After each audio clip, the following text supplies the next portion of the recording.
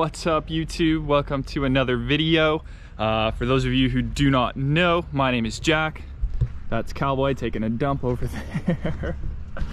and today we're going to be talking about if a heeler or an Australian cattle dog, same thing, is right for you. So let's just dive right in.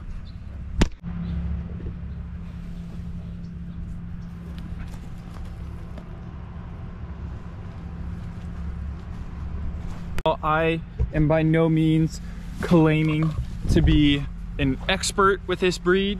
Um, you know, there's a lot of people out there who, who, you know, breeders and whatnot who probably know more and can say a lot more about the breed. But I will say, um, you know, I think after owning one for two and a half years, um, getting past arguably that toughest point of owning a dog from like nine months to a year and then raising him to be a pretty good dog thus far, uh, I have some credibility, I guess, to talk about this guy.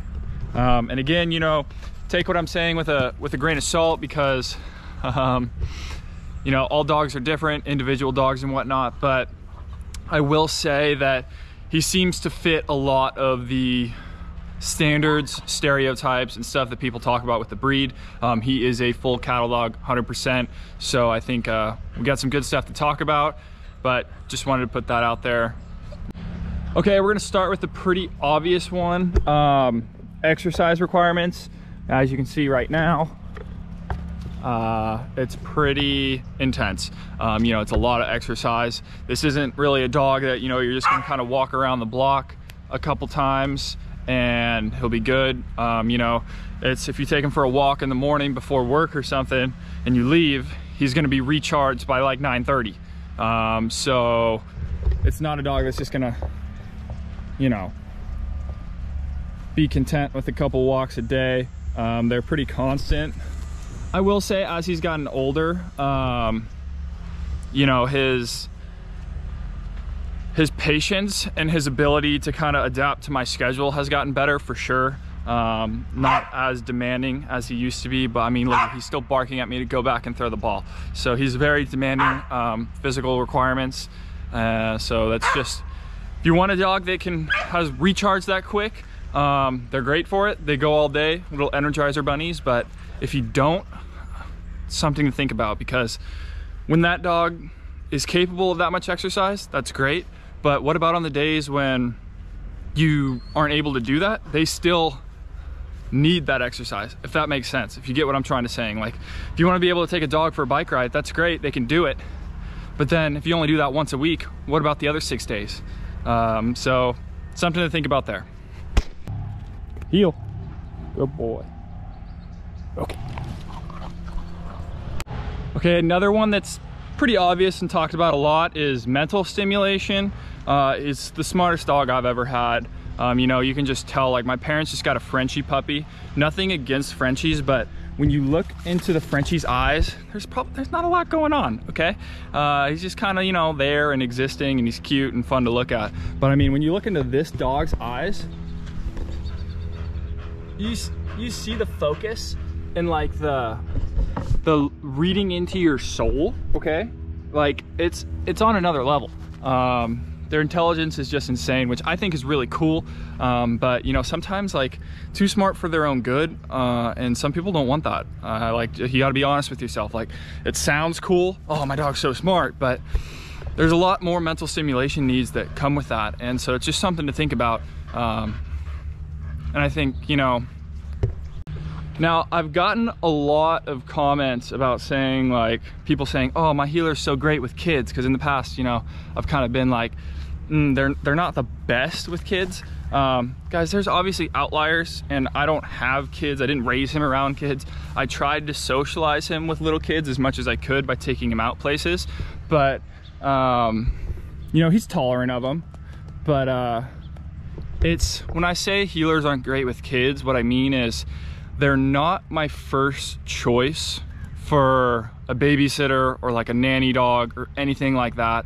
Um, if you want something like that, I would look more like at Labs, Goldens, uh, Frenchies, Newfoundlands, Great Pyrenees, like breeds that are just kind of known for either being motherly to like livestock or sporting breeds that are pretty docile with soft temperaments. Like this is a herding breed, guys. Like he was bred to bite and bully cows, like 1,200 pound cows. Okay, you you got to have some some fire in you to do that, and uh, and I guess you know my point being is he's not super tolerant of like people crawling on him. Like he won't he, he'll get up and move or like he's not really so snippy anymore because I used to get on him pretty bad about that. But the, like I guess you know point just being is they're not super tolerant of a lot of things that other breeds would be more tolerant of. Um, they're a very stoic breed. Like I, I consider them like they act a lot like a human would. Like don't would you walk up and pet another human? They're like, why would you do that? I'm, I'm an intelligent creature. Whereas a lab is like, pet me. Uh, do you have little kids in your life? Are you gonna have them soon? Um, you know, I know a lot of people in comments are like, oh, my heeler was great with my kid. That's great. Um, you know, I'm just saying in general, like it's not my first pick for a dog with kids probably, if that's what you're looking for. A good example being, you know, the other day, my girlfriend and I, she has a Brittany, and uh, we were out front of this like frozen yogurt ice cream shop or whatever, and these little kids, um, came up and like, hey, we pet your dogs. And we were like, yeah, sure. Like Cowboy's fine with it. But, um, you know, like the little grubby kid like tried to come pet Cowboy and he kind of like moved away a little bit. Whereas the Brittany is, you know, like all lovey-dovey and wants scratches and leaning into him. So, um, that's just my experience. That's how he is. That's how I've heard a lot of other ones are as well. Um, so kids, something to consider for sure. I'm not saying they can't be good with kids, especially if they're raised with them. It's just gonna increase your chances of that working out well, right? But um, just something to think about.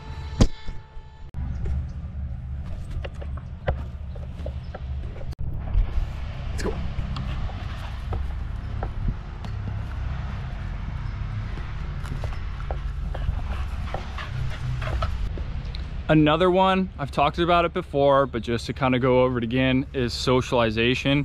Um, if you don't want a dog that you have to socialize super heavily and you know they're gonna be kind of more calm, um, more welcoming of other people, that's probably not a cattle dog, right? Uh, you know, they're pretty protective.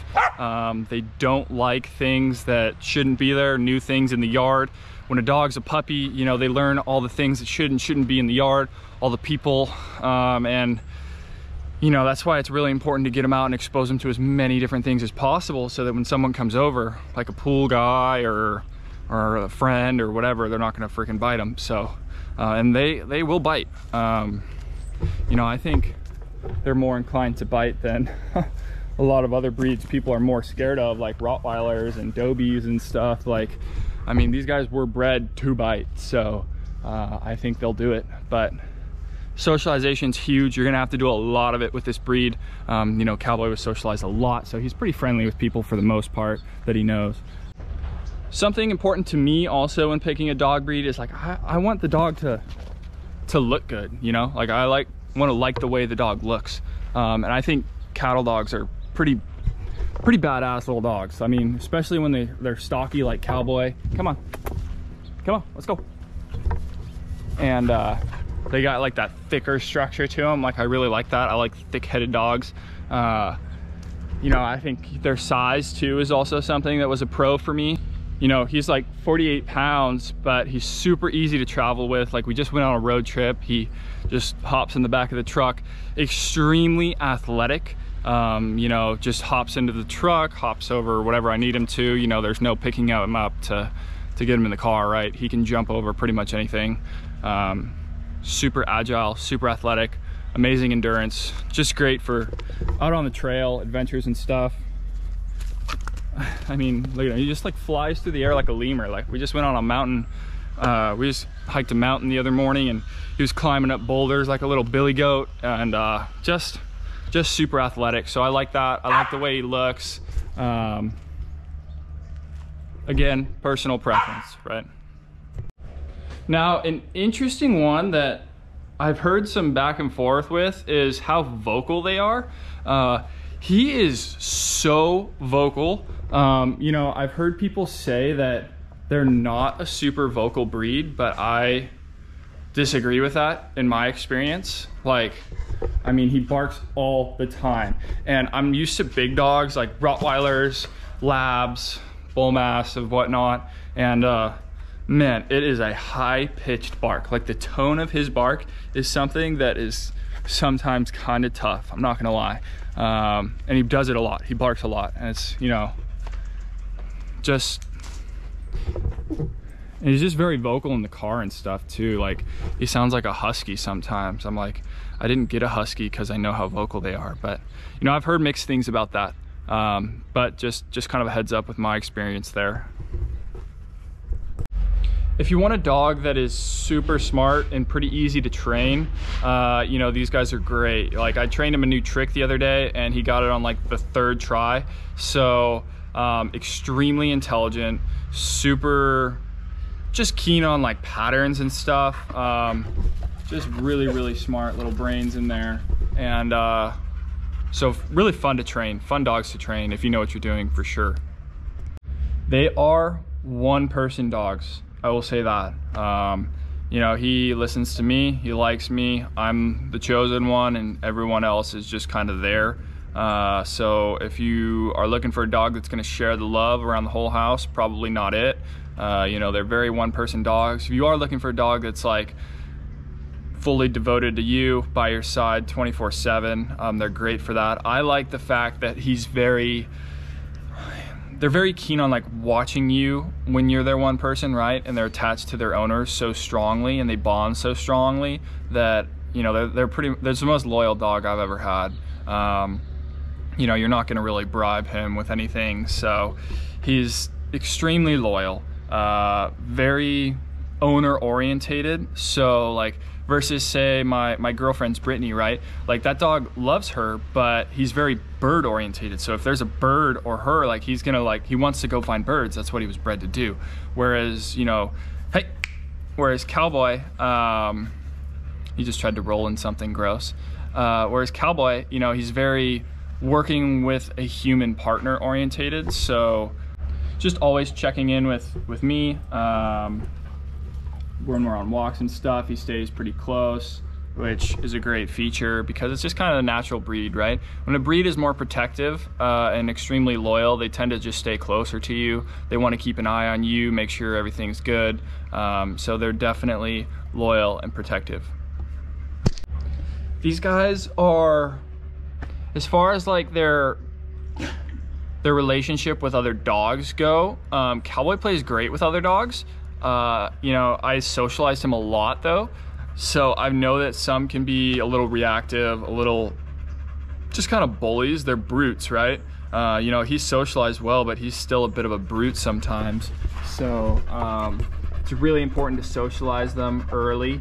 But they can be great with other dogs, right? I think that's more so how you raise them more than the breed necessarily. But, uh, you know, they have the potential to to not get along with other dogs for sure, just because you know they are bullies. Um, I mean, they're bred to be bullies, right? They're bred bully cows, so that's something to, to think about a little bit. But I mean, if you if you know how to socialize a dog and raise them right, I really don't think there should be any issues there. They're really street smart with other dogs. I've found. Um, you know that like he doesn't want to go around picking fights because, but you know he'd he'd stand up for himself if he had to.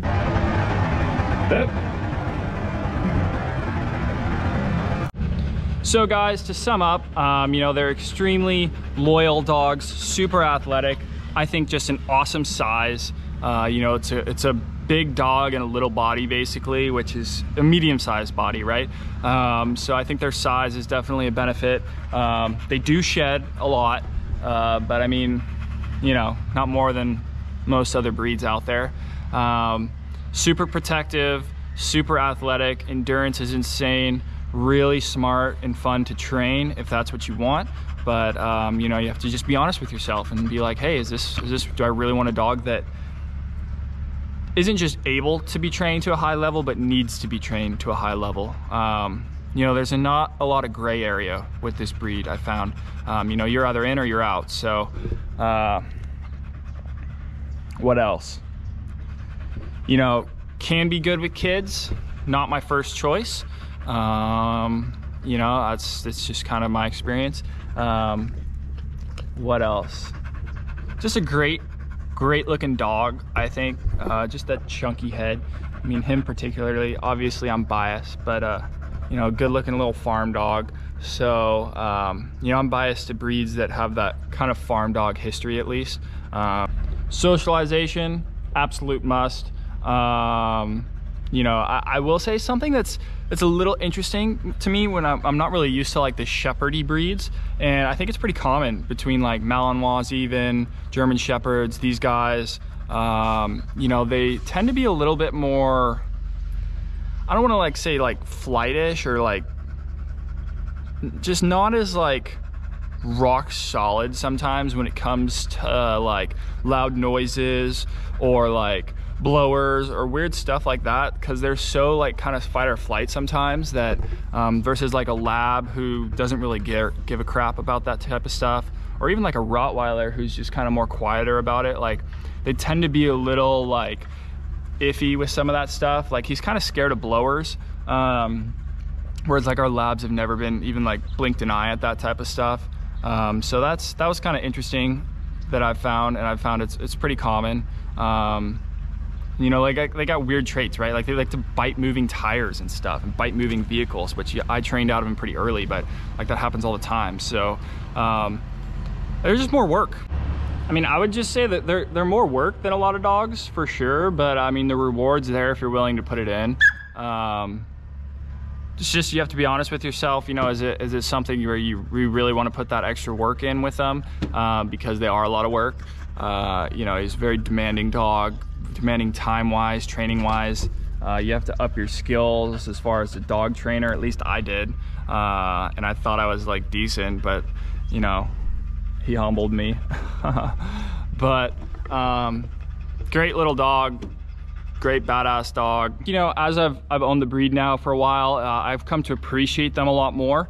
Uh, and I think that's probably why I don't recommend them to people so much, just because, um, you know, I think a lot of people aren't necessarily prepared uh, for what they're getting into. Um, but the people that do know what they're getting into and, you know, they, they realize like, hey, this is what I want and they're open to it, like, you're open to putting in the work, they're, they're awesome dogs. And, you know, a lot of people are like, oh, it's the only dog breed I'll ever have. So, well, thanks for watching the video, guys. Hopefully that gave you a little bit more insight into the Australian cattle dog.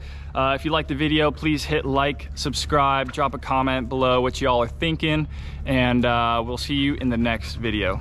Appreciate you.